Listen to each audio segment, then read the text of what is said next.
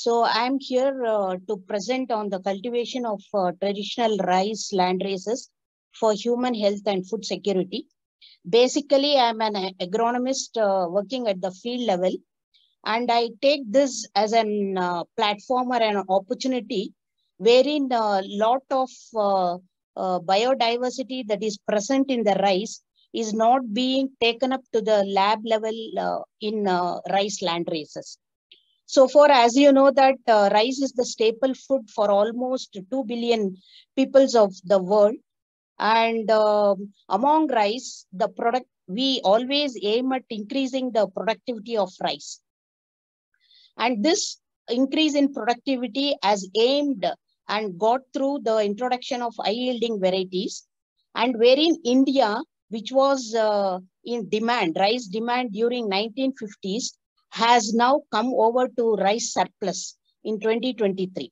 So this is the scenario with the uh, high yielding rice varieties which, by which we were able to increase the production. But when it comes to the traditional uh, rice land races, there is lacuna not only in the area coverage, but also the exploitation of this traditional rice land races for human health. So to mean my abstract of my uh, presentation, I aim at uh, utilization of these uh, rice land races, which is not only found in Tamil Nadu, which is my state, but also the other states in India. But this cultivation of these land races has been uh, uh, only to the localized areas or small pockets.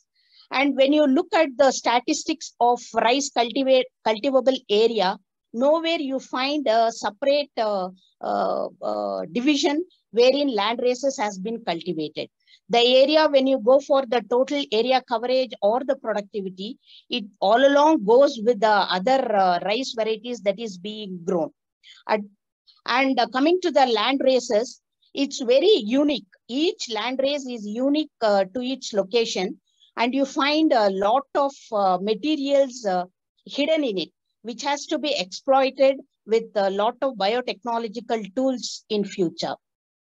So can you, when you look at the different land races present, here is a picture which gives uh, uh, the most uh, uh probable land race that is found in uh, Tamil Nadu, like uh, Kaiviral Samba, Mapile Samba, Kichili Samba, Karupu Kauni, Kuli Adichan, Katuyanam, Padakan, and Siraga Samba when you look at these uh, land races, you can figure out that there is some variation in the colorations. And this coloration is due to the anthocyanin content and uh, the medical properties or the health benefits that is obtained uh, by these land races is through the many flavonoids and polyphenols that is present.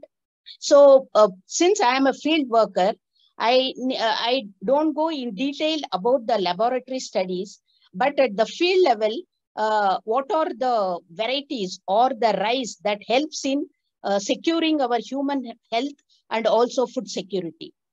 When you look at the uh, text, that is Siddha text, uh, it's a Bible. In Tamil, we call it as Siddha Maruthuva Togai Agaradi, which is nothing but herbal medicinal dictionary which uh, depicts nearly 30 varieties of land races that is being utilized in Siddha me uh, medicine in one way or the other.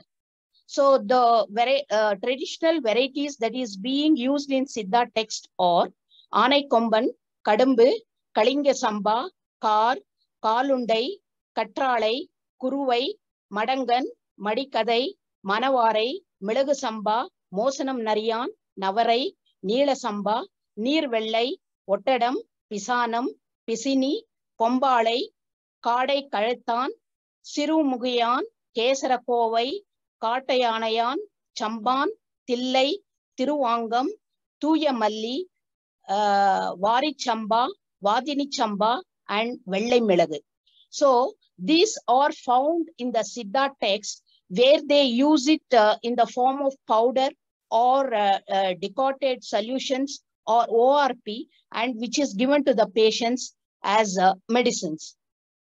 When you look at the Siddha text, it is nothing but uh, in Siddha, they talk about uh, Vata, Kapha. Uh, uh, these three combinations help in uh, combating the diseases that is found in human being. And there are certain rice varieties among the traditional uh, rice growers and the traditional practices where I have uh, collected this material. So I thought that these uh, rice varieties has to be exploited in future because they have so many properties. But when you look at the rice land races at the global level, the importance given to Navara and uh, uh, this um, Kauni variety uh, is not given to the other land races. Maybe it is due to the area coverage is less. And uh, my point of presentation today to the biotechnological group is that these varieties also has to be exploited for their properties and for their characteristics using biotechnology as a tool. And one of the variety is uh, uh, Annam Alagi, which is very tasty to eat and it wards off many diseases and regulated the deranged pitta in us. Irukku Samba is uh, good and uh, very tasty and it is good for offering to prayers and it is fed to the nobles in Indian uh, condition and uh, in Tamil Nadu state. Karunguruvai is a dark variety of paddy maturing in just three months. That is, the duration of the paddy is 90 days only. And this rice is able to ward off skin diseases, urinary tract diseases, poisonous stings and bites, and promotes health, which is uh, almost uh, used by the tribal people in Tamil Nadu. Next is uh, Kallundai Samba.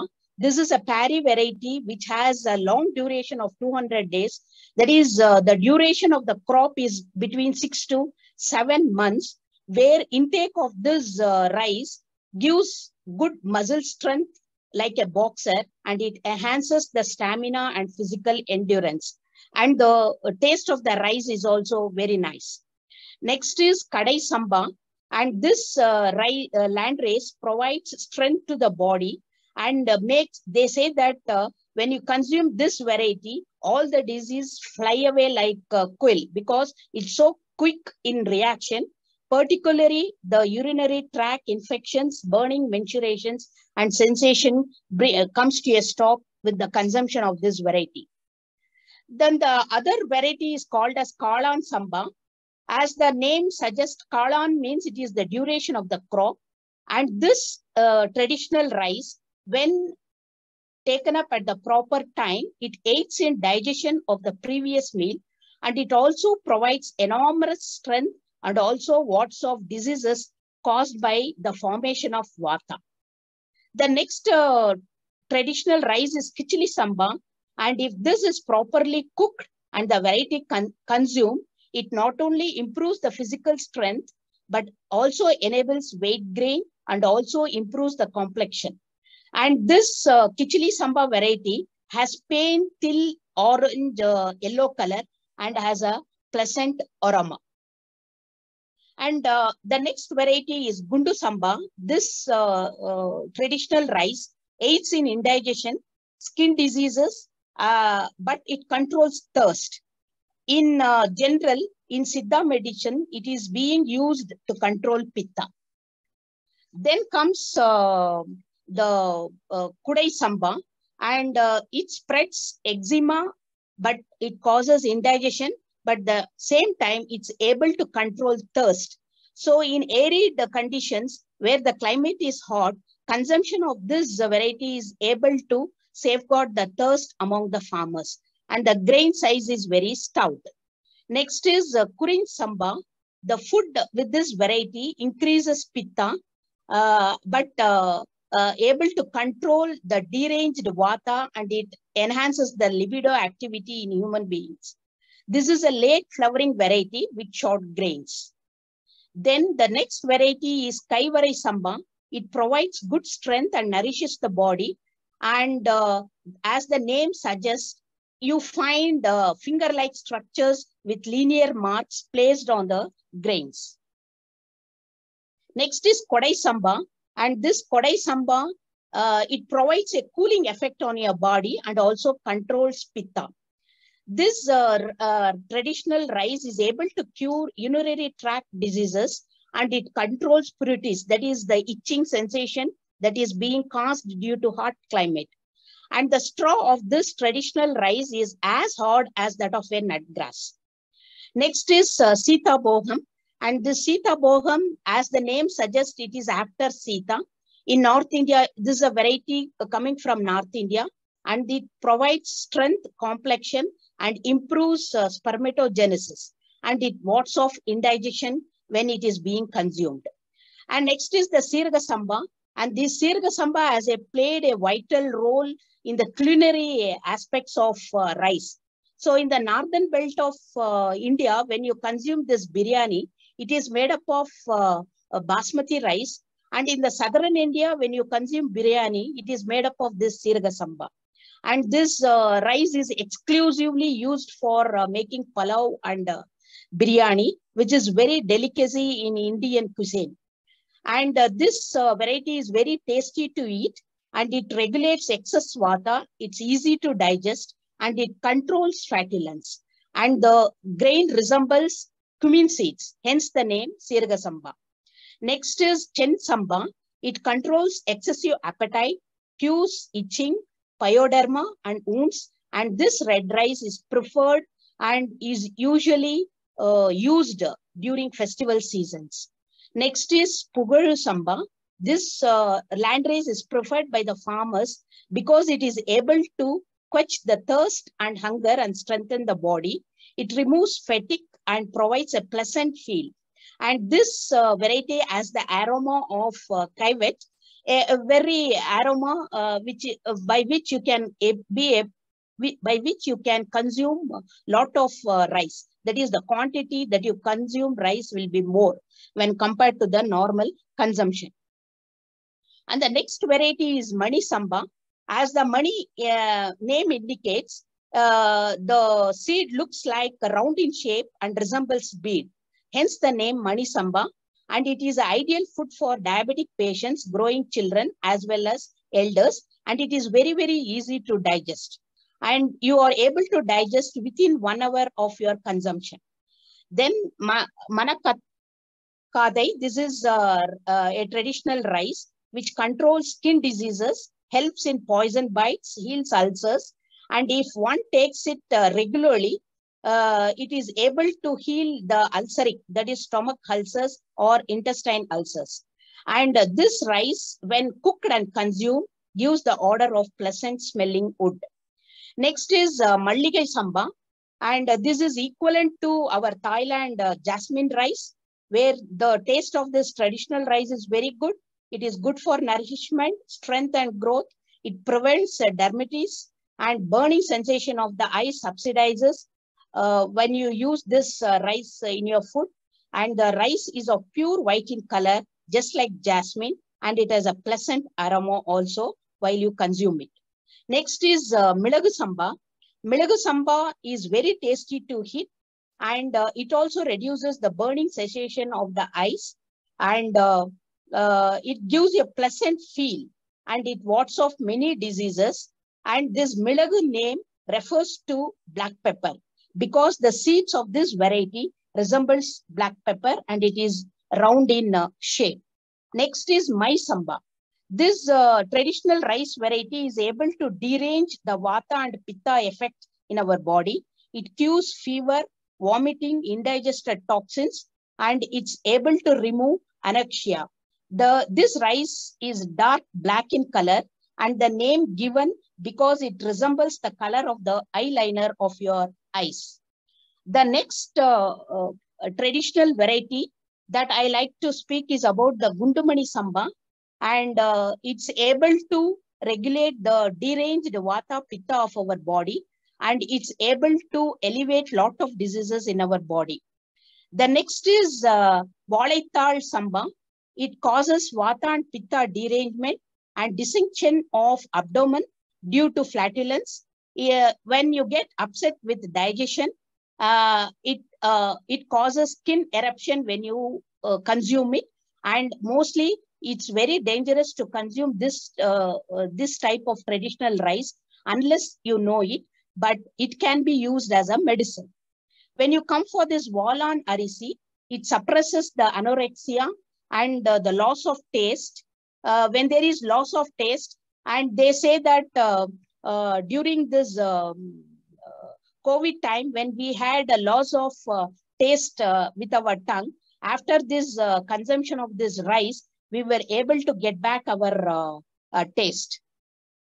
So when you look at uh, those uh, so many properties that are, that is being hidden with these uh, rice land races, and when you look at the cultivation of land races in Tamil Nadu, I have collected almost 150 land races, which is actually in cultivation uh, in Tamil Nadu, and in it is among the farmers and the tribal people. When you look at the cultivation of land races, it is almost confined to hilly areas, upper hilly areas, and the tribal tract. And uh, because it is 150, you can refer to my uh, slides if you want in detail about the land races that is in cultivation in Tamil Nadu. So with this, uh, uh, I like to conclude and bring a point. Since I'm again, I stress that I'm a field worker. These varieties is being hidden at the farmer's field level and this has to be brought out and the area of uh, cultivation has to be increased in its acreage and the characteristics and uh, the biomolecules present in those land races has to be uh, characterized. And uh, uh, coming to the farmer's point of view they grow these uh, traditional land races but they don't have any market value for that. So when they put it to the market uh, for uh, price, it's being sold equivalent to the other prices that is uh, price fixed by a, a MSP or at the government level. So there is no separate market price that is fixed for this traditional rice, except for few rice varieties like Navara and Kauni, they because uh, it goes uh, for export purpose and there the price fetches even 400 rupees per kg of Navara rice and Kauni rice. But this is not given to the other type of uh, traditional rice varieties. And I like to bring this to at this forum to say that market price has also to be fixed for those traditional rice varieties so that the buyers, consumers, and the growers are also benefited by this. Thank you.